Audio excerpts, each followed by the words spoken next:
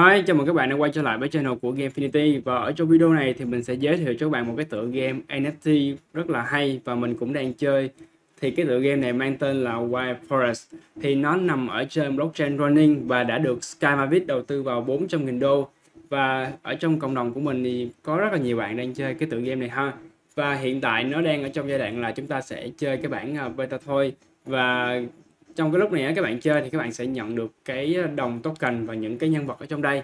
Nếu như các bạn đua top các bạn ở cái những cái thứ hạng cao thì các bạn có thể nhận được những cái phần quà có thể là những cái NFT thì chúng ta có thể min nó ra ở trong cái mùa sắp tới ha.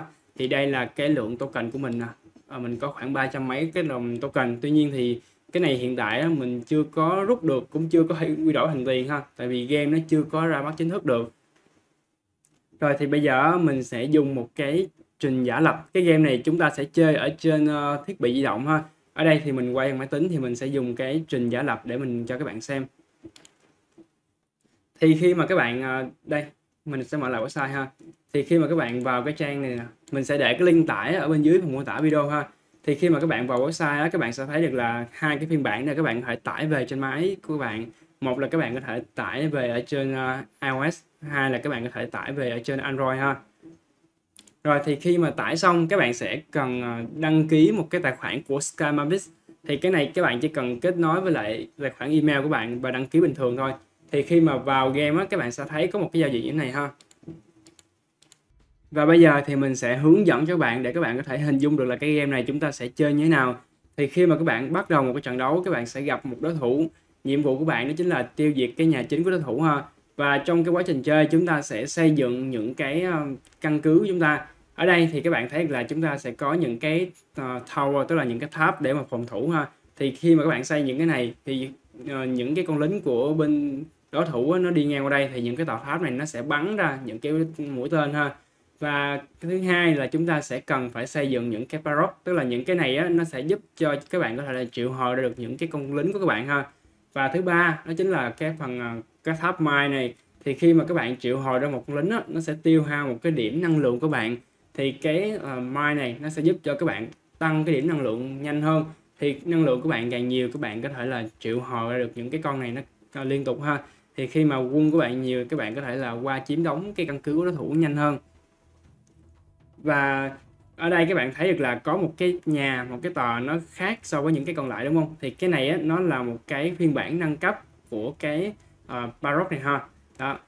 Đây là cái nhà cấp 1 và đây là cái nhà cấp 2 thì khi mà các bạn nâng cấp lên các bạn sẽ triệu hồi được những cái con uh, lính của các bạn ở nằm ở cái tier 2 thì những cái con ở tier 2 tier 3 nó sẽ giúp cho các bạn là uh, đánh nhanh hơn mạnh hơn. Rồi bây giờ thì mình sẽ cho các bạn xem được là những cái con nằm ở tier 2 tier 3 nó sẽ như thế nào ha ở đây trong cái giao diện chơi game này thì mình sẽ bấm vào cái phần card nè đó các bạn thấy là chúng ta sẽ chia làm hai ba cái tier.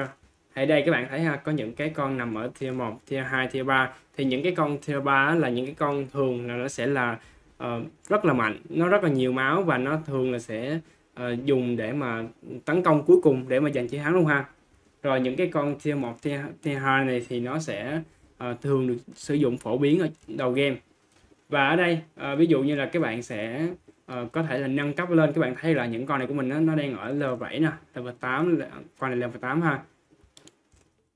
Rồi để mình nâng cấp á, thì các bạn sẽ chọn vào nó và click vào cái phần uh, upgrade. Đây đó. Và ở đây nếu như các bạn muốn thay đổi những cái con này vào đây thì các bạn chỉ cần nhấn vào cái phần là uh, select nè. Và các bạn chọn nó vào. Thì con của mình nó đang chọn là ở tier 1 thì mình có thể là thay nó ở trong cái phần uh, tier 1 ha và bây giờ thì mình sẽ đánh thử một trận Đúng ra cái game này chúng ta sẽ nên chơi ở trên thiết bị di động chứ nếu như chúng ta chơi ở trên uh, máy tính giống mình hiện tại á, thì nó sẽ rất là chậm ha. Bởi vì mình thao tác bằng chuột nó sẽ rất là chậm và cái thứ hai là chơi trên máy tính nó sẽ bị lag hơn so với việc là các bạn chơi trên điện thoại. Rồi đầu tiên thì mình sẽ di chuyển con lính để mà tới cái vùng đất này thì mình mới có thể xây nhà được ha.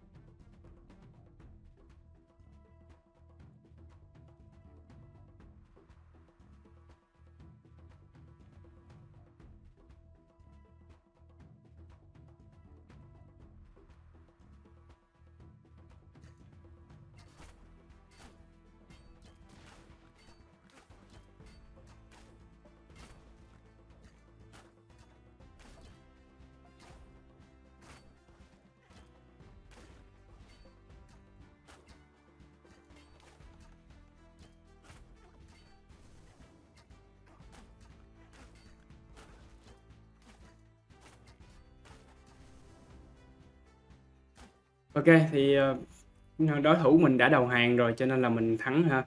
Thì khi mà thắng thì các bạn sẽ nhận được những cái điểm này là kiểu như cái điểm thứ hạng của bạn á. Đó, các bạn thua thì chỉ bị trừ thôi nhưng mà thắng thì các bạn sẽ được cộng 11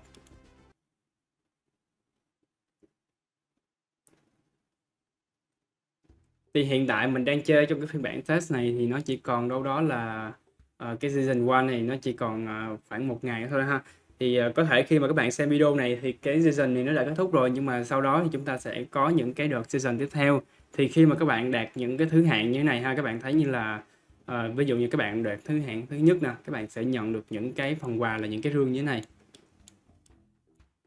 Đó hiện tại là mình đang đâu đó là một cho tới 500 ha mình sẽ nhận được những cái này ha.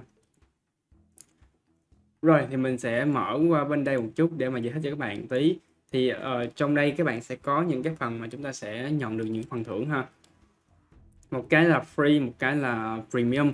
Thì premium hiện tại nó cũng là dạng uh, free luôn á tức là chúng ta sẽ có thể nhận nó ở trong uh, uh, cái group uh, Discord của họ. Thì hiện tại trên màn hình của mình các bạn thấy là mình nhận được những cái phần quà premium. Thì nó sẽ bao gồm là những cái đồng token đó thì những cái này nó kiểu như là một cái dạng airdrop cơ bản thôi. Thì sau này mình có thể là khi mà họ listing lên những cái sàn thì mình có thể rút về được ha nhưng mà giá trị của nó thì mình nghĩ cũng không cao đâu. Mình nghĩ là uh, cái tài khoản mình khoảng là ba trăm mấy đồng thì nó sẽ khoảng đâu đó vài chục đô thôi chứ cũng không có quá nhiều.